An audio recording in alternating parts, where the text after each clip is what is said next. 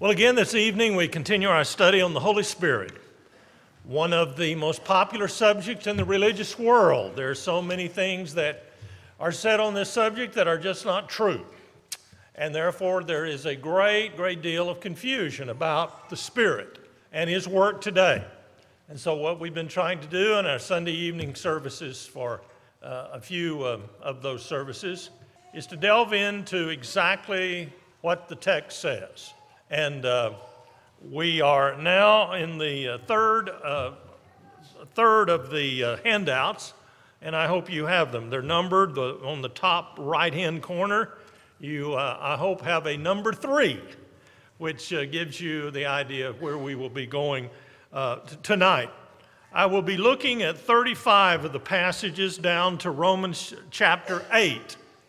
You'll notice uh, as you look at that outline, there are many of the passages using the word spirit in Romans chapter 8. In fact, uh, I counted 21 different times. This is obviously the chapter of the Holy Spirit, if you will. And uh, we won't deal with that one uh, this week, but Lord willing, we will uh, next Sunday evening and the rest of the, uh, rest of the sheet that you have before you. Let me review for just a few moments uh, a couple of things.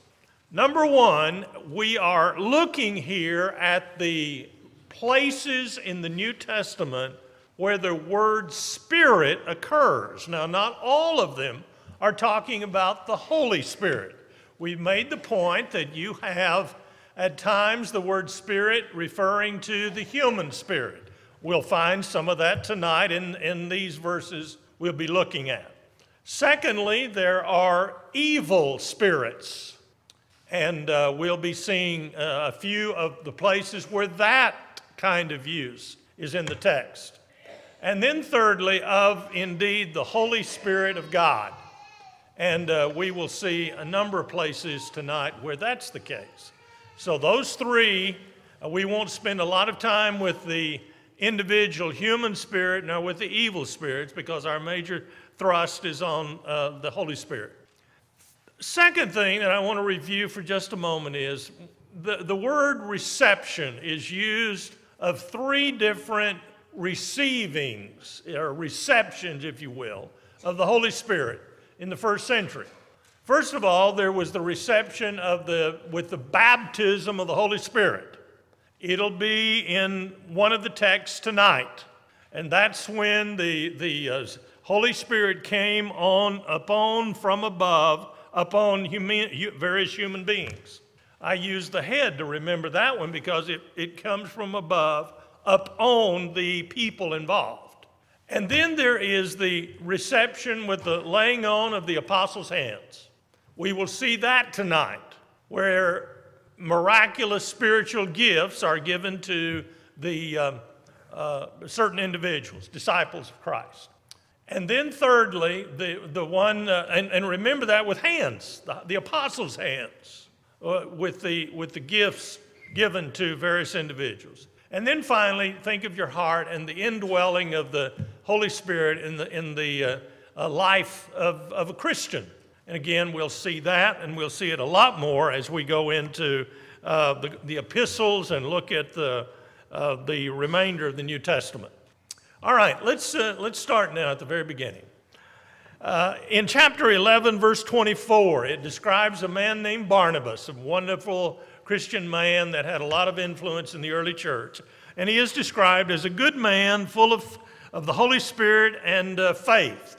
We have said many times that you cannot say exactly what that filled or full of the Holy Spirit means. You have to look at each passage and look at its context. Here, obviously, uh, there's a man full of faith and the Holy Spirit. Well, if you have faith, what, what will be happening? Will you, people will see the evidence of that. If you're filled with the Holy Spirit, they will see that you are, uh, that you are guided by the, the principles and the, the, the revelation that has been given by the Holy Spirit. So it's always evidence. In fact, the very next verse makes the point that uh, a great work was done in the area where uh, Barnabas was located at that time. So, uh, again, just speaking of a great man of God, there's nothing miraculous or mysterious about what he was doing with that church. He was just working hard and, and being a very spiritual man. Uh, same chapter, verse 28. And through the Spirit, a prophet by the name of Agabus, if you look it up in the text, uh, this prophet Agabus, through the Spirit, predicted a severe famine uh, that would spread uh, through the area of uh, what we would call probably the Promised Land or Canaan or Palestine. And so the, the early church decided to help with uh, uh, that, dealing with that famine down in the land of associated even still today with the Jews. Chapter 13, verse 2 they were worshiping the Lord and fasting, and the Holy Spirit then speaks to the group in some way. And uh, this is the beginning of the command to start the first missionary journey of the Apostle Paul. Of course, he takes along Barnabas, and so again, a, a great evangelistic movement started guided, directed by the Holy Spirit of God. And uh, he will be involved over and over again in the missionary work of the early church. And then uh, after that, uh, chapter 13, 4, the two of them, and this would be, of course, Paul and Barnabas, or, uh, and uh, uh, it says they were sent on their way by the Holy Spirit, again directed and guided by the Spirit as they make that journey as they start this great adventure for the Lord, uh, and uh, again, guided by the Spirit, as you'll see uh, uh clearly as we move down through these passages in Acts. Chapter 13, verse 9 uh, Paul was filled with the Holy Spirit and looked uh, straight at this false teacher, this false prophet, and he said, and, and, and the point is here, Paul is confronting this false teacher, and, and some dramatic things happen because of this. But uh, Paul was filled by the Spirit and told the man that he would be going blind for opposing the uh, Christian message that Paul uh, was presenting. Chapter 13, verse 52 And the disciples were filled with joy and with the Holy Spirit. Well, how would that uh, be evidence? Well, they would obviously be happy, as, happy, joyous people. And if they were filled with the Holy Spirit, they would uh, show that they were being influenced by good and by, by holy principles and by following the direction of the Holy Spirit. And again, there is uh, nothing here mysterious about uh, this particular filling. And it's important, again, as we said, look at the context chapter 15, verse 8. And I want to read this one, and I hope you have your New Testament. And I want to read uh, from uh, Acts 15, not just verse 8, but 7, uh, verse 7, 8, and 9. Now, this is a review of what happened in Acts 10 and 11. You know, it's hard, as I've said before, to exaggerate the importance of what happened in Acts chapter 10 and then 11 as it's sort of reviewed and, and restated. Because in chapter 10, you have the introduction of the gospel to a Gentile family uh, centered in a man named Cornelius. And uh, it's, uh, it's a critical moment in the history of the church. Is Christianity just to be for Jews? Well, no. But it takes a long time for the Jewish Christians to, to, to realize this. And at chapter 10, there's that clear, definite demand that the Lord wants the gospel open not just to Jews, but to the Gentile world. And that's why there's so much about it in Acts 10 and 11. Now, here in Acts 15, you have the issue coming up again you have a problem still with some of the Jews thinking this is not right. The, the Gentiles need to sort of make a detour through Judaism to come to Christ. And uh, so they have this big conference in Jerusalem, And Peter speaks, Paul speaks, James speaks. I mean, it's a big, big thing. Here's what Peter says in explaining about what happened earlier in 10 and uh, 11. Again, uh, from Acts 15 7, beginning. And when there was much dispute, Peter rose up and said to them, Men and brethren, you know that a good while ago God chose among us that by my mouth the Gentiles should hear the word of the gospel and believe. So God, who knows the heart, acknowledged them by giving them, okay, here we are, the Holy Spirit, just as He did to us, and made no distinction between us and them, purifying their hearts by faith. No distinction. And, and how was that evidenced? By the simple fact that the Holy Spirit was given to them as it was to us. Us when? Well, on the day of Pentecost, Acts chapter 2, verses 1 through 4, the promise of the baptism of the Holy Spirit came upon the apostles, the Jewish apostles. Now he's reviewing the simple fact that a second time in history, the baptism with the Holy Spirit occurred, and it was on the household of Cornelius. And the point was not for salvation directly, but simply to demonstrate and show to the Jewish Christians that Gentiles were welcome in to the family of God. And uh, they could believe on the Lord Jesus Christ and be saved, just as the Jews had been doing for a number of years. And I, I, I, I can't say that enough. I, I can't emphasize that enough because, again, there's so much in, in misinformation about the baptism of the Holy Spirit. I want to tell you this we will not see another thing about the baptism with the Holy Spirit. It's, it's, oh, it's past, it's gone. Nothing else in the rest of the New Testament will have anything to do with the baptism with the Holy Spirit. It happened twice. In fact, on the day of Pentecost, you remember there were two baptisms the Holy Spirit baptism and then the baptism with water Acts 2:38 for the remission of sins. And in Acts 10 with the household of Cornelius there were two baptisms. One was the baptism of the Holy Spirit, and then after that uh, Peter says uh, how could we bid, forbid water that these should not be baptized? It was a, the water baptism, the same that you had in Acts 2:38. Ephesians chapter 4 verse 5 says, there is one Lord, one faith, one baptism.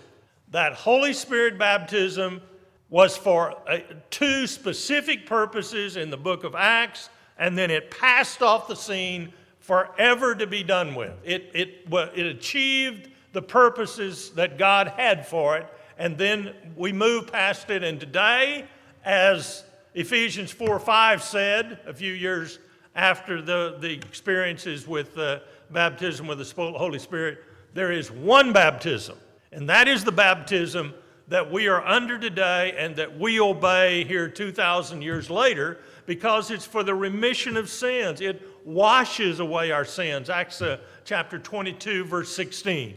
So um, it's a, a, a very important to understand what uh, Peter is saying in review here. Uh, chapter uh, 15, verse 28.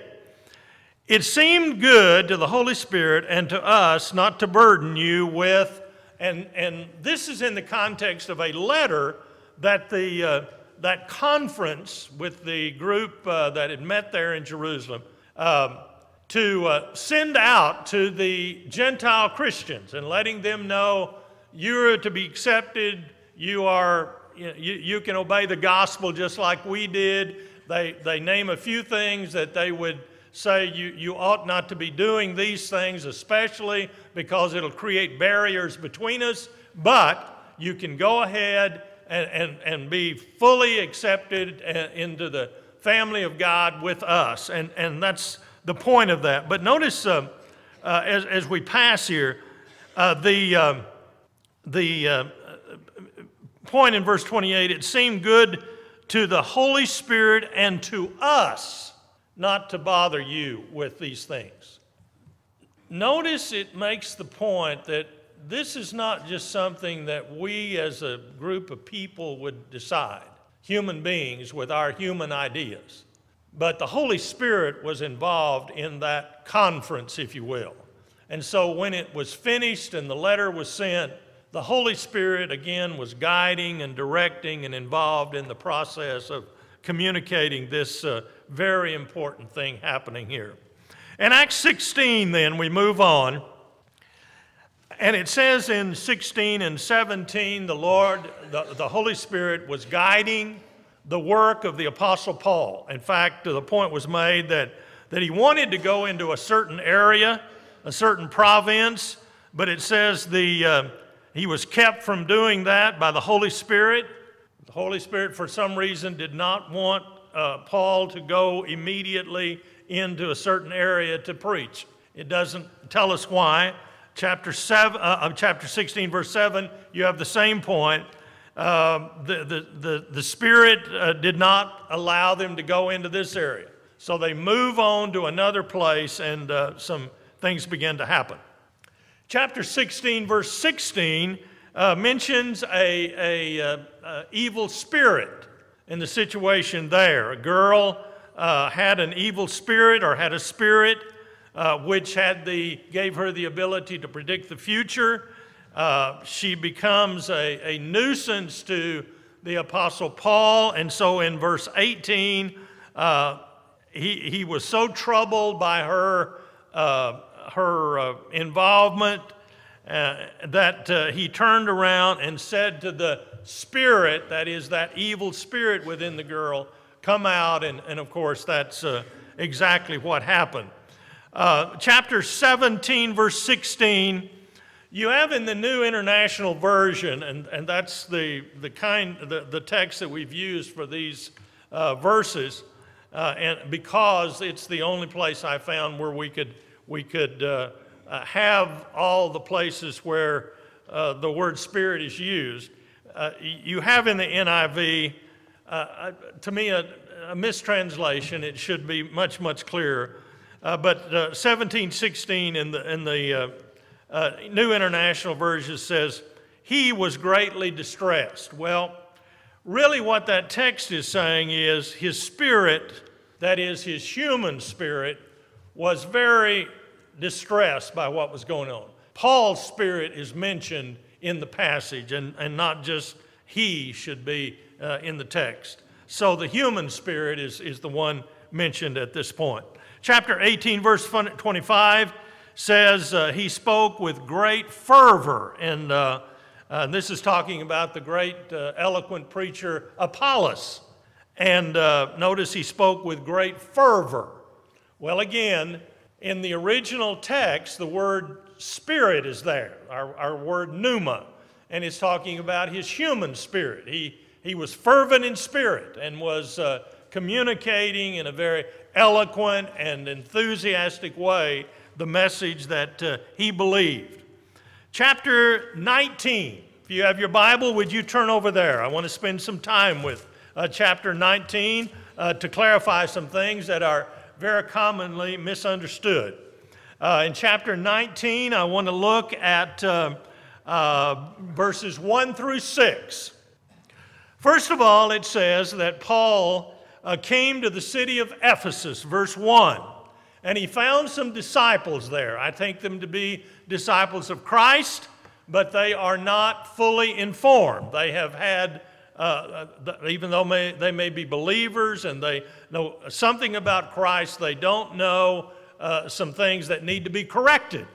But he found them in Ephesus, the great uh, uh Roman city of Ephesus.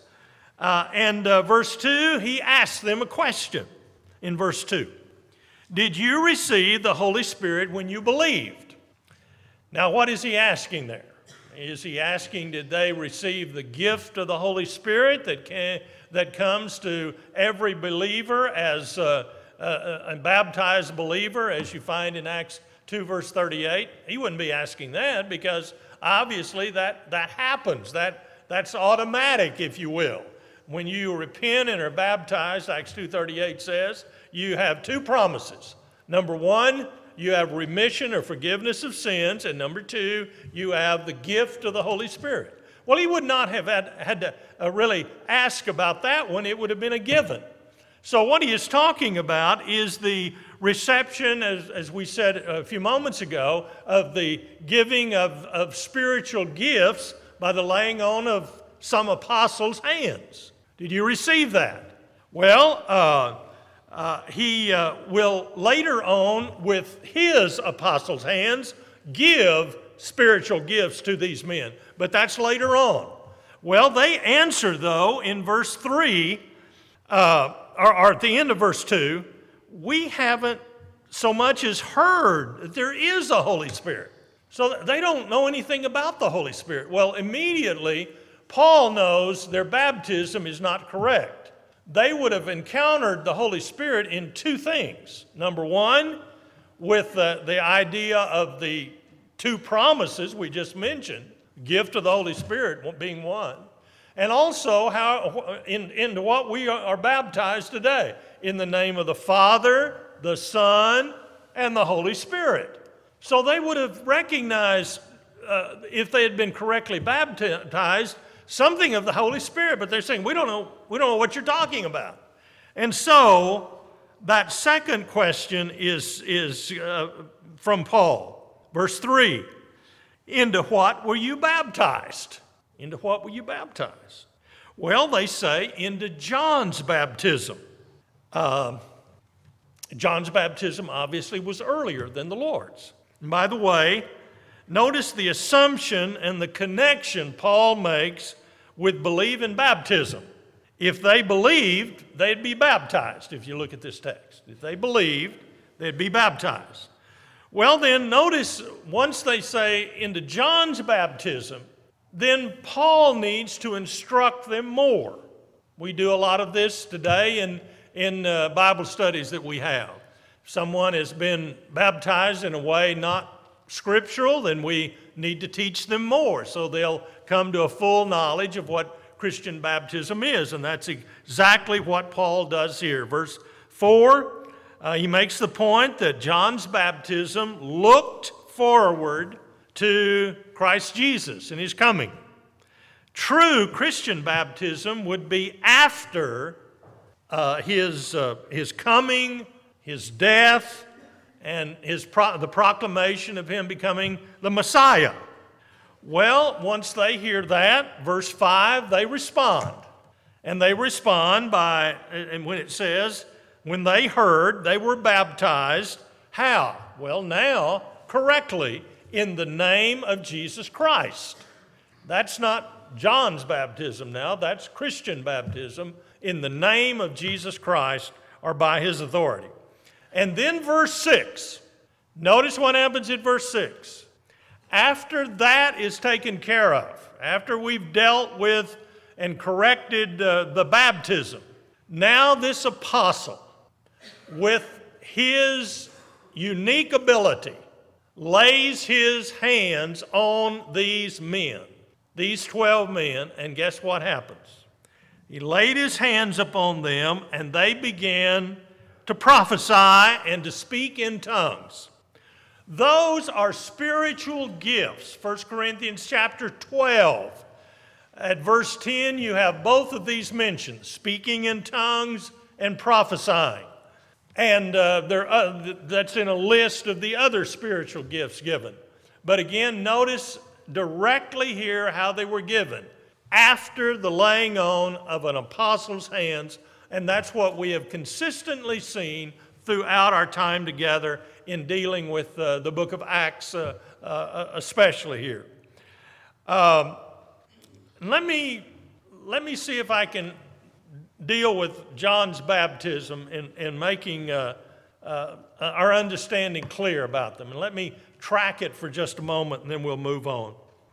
Apollos had been in Ephesus before Paul chapter 18, verse 24. He had known only the baptism of John. And then later on, in chapter 19:1, where we have this text beginning, it makes the additional point that Apollos went on to Corinth. We can infer from that that Apollos taught these 12 men in the city of Ephesus. And he is probably like the 12 apostles and the 120 that you find in Acts chapter 1 that uh, were baptized with John's baptism, but then uh, were not, did not need to be rebaptized, baptized again after uh, the establishment of the church and, and the new covenant begins and so on. Uh, but, but it seems that, that Apollos uh, had experienced that before.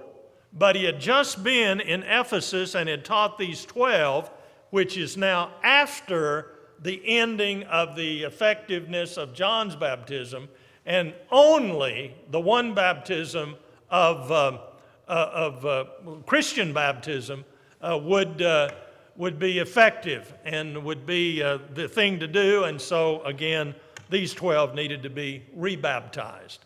And I think that makes more sense of anything that you will look at with that particular baptism in mind. All right, let's move on to chapter 19, verse 12 and 13 and 15 and 16. You are dealing with uh, uh, some people that were demon possessed, it, it, said, or that have an evil spirit.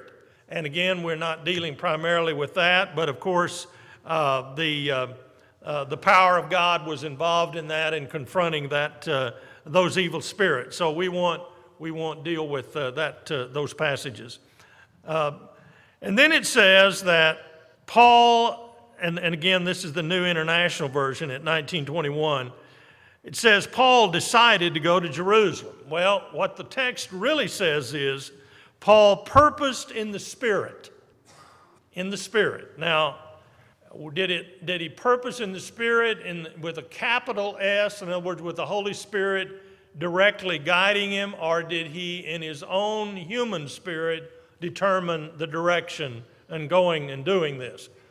I can't tell you. Some, some translations will have a capital S for the Holy Spirit, and some will have a small s. I can't, I can't uh, tell you. And we, we could argue about that all day long. But uh, purposing or the, the, the decision was made, and this man now is moving on in his, uh, in his ministry.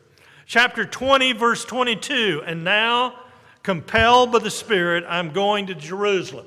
This is Paul saying, I must go to Jerusalem, no matter what uh, and, and the, the, Spirit is, uh, the Spirit is guiding me here.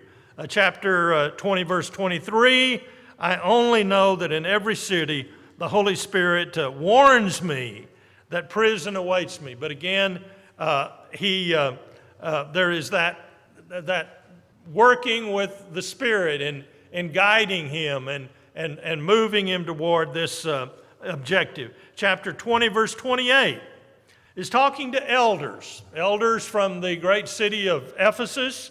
Uh, Paul meets them at a place called Miletus, and uh, he says this of them that you are responsible for all the flock over which the Holy Spirit has made you overseers. In God's plan, the plan given by revelation of the Spirit, uh, the, the process of leadership is placed in the hands of overseers. Uh, that's a word that could be also translated bishops and other places. They're called pastors and elders. But the point is that, that uh, uh, positioning, that placing of people in leadership places is unique and very much a part of the overseeing, guiding process of the Holy Spirit. And we still have that today. When men are qualified, and are respected and admired, and a, a, a congregation uh, desires them to serve as their leaders, then uh, uh, it is still the case that, that uh, the Holy Spirit has uh, uh, become a part of that. Chapter 21, verse 4. Through the Spirit, they urged Paul not to go to Jerusalem. In other words, this is inspired revelation. They're, they're, they're being, they're encouraging him, don't go. But of course, he will be going. Um, uh, one of the, the prophets uh, went through a symbolic thing. Uh, it's telling him that uh, the Holy Spirit says, don't go. But again, Paul wants to go and, and, and be in, in, uh, in uh, Rome, and so he continues his journey. Chapter 23, verse 8. this is a description of the beliefs of the Pharisees and the Sadducees. The Sadducees did not believe basically in the supernatural. They didn't believe in spirits, they didn't believe in angels, they didn't think about there being a, re- a resurrection. Uh, the Sadducees were, would be modernists today if we were giving them a title. Uh, on the other hand, the Pharisees were very conservative and, and believed in the thing, those things angels and, and, and uh, the spirit and spirits and resurrection. And Paul used that disagreement and conflict between those two religious parties to actually uh, make uh, a, a, a, means of him uh, uh becoming less, uh, uh, less of a problem for them and, and, and a problem for himself. And, and you can read the context of, uh, of this and see what I'm talking about. Um, then uh, you, you have, uh, again, chapter 23, 9, the same point. Uh, the Pharisees take his side in this.